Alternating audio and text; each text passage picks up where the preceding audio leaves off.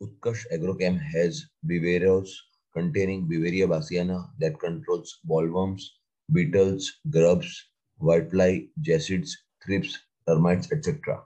Verticoz containing Verticillium lecanii that controls sucking pests like mealybugs, white scales, insects, etc. Metarhoz containing Metarhizium anisopliae that controls plant hoppers, bugs, root grubs, etc. Utkarsh BT containing Bacillus thuringiensis bacteria that controls caterpillar, moths, beetles, mosquitoes, black flies, etc.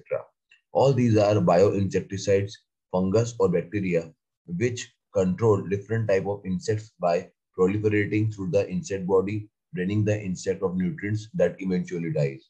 If you can't recognize any of the insect that, then you can use Utkarsh BioClean Sweep that contains Beauveria, Verticillium, and Metarhizium and other fungus to control all kinds of uh, insects. Beveroz, Verticoz, and Metarhoz comes in both powder as well as liquid form.